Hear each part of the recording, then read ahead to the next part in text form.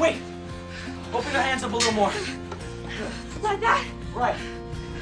Listen, Rose. I trust you.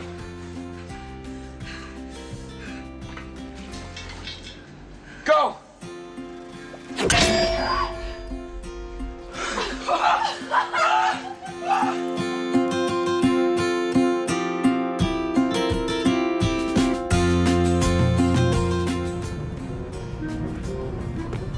Shop at Barnes and Noble?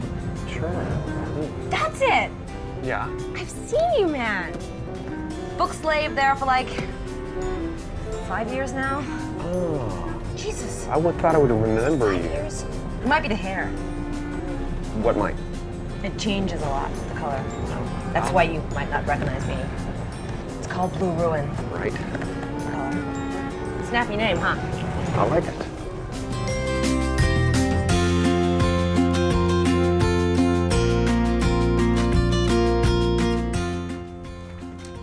I don't know what you're asking. The first thing I'm asking is why didn't you unlock the doors? Obviously. For the obvious reason. We couldn't. Why couldn't you? We were guards. Our job was to guard the prisoners. We couldn't just let them escape. I see. And if they escaped, then you'd be blamed. You'd be charged. No. You might even be executed. No. Well then, If we'd opened the doors, there would have been chaos. How could we have restored order? It happened so fast. It was snowing, the bombs, the flames.